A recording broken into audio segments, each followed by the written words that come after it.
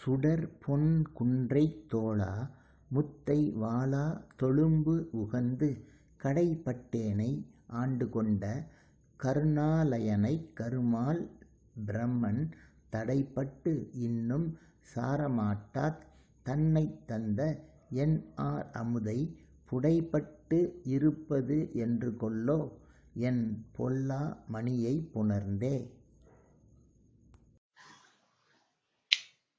திருவாசகம் இருபத்தி ஏழு உணர்ச்சி பத்து அத்துவித இலக்கணம் சுயஞ்சோதியனை அகண்ட வஸ்துவை அற்பன் எனினும் தொண்டனுக்கு அருள் புரிபவனை பிரம்மதேவன் எனினும் செருக்குற்றதனால் அவனால் அணுக முடியாதவனை அமிர்த சொரூபனைச் சேர்ந்திருப்பது என்னாலோ?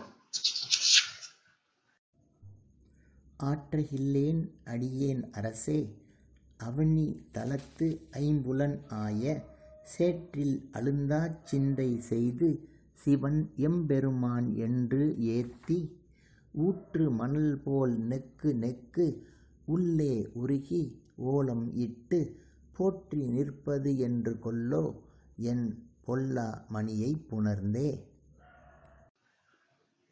நில உலகை நுகர்தற்குரிய ஐம்பொறிகளை நான் சேரலாகாது.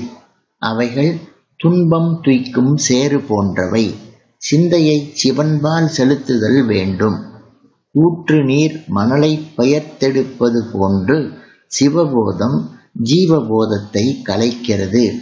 அத்தகைய சிவயோகம் எப்பொழுது வாய்க்கும்? நீண்ட மாலும் அயனும் வெருவ நீண்ட நெருப்பை விருப்பிலேனை ஆண்டுகொண்ட என் ஆர் அமுதை அல் ஊறு உள்ளத்து அடியார்முன்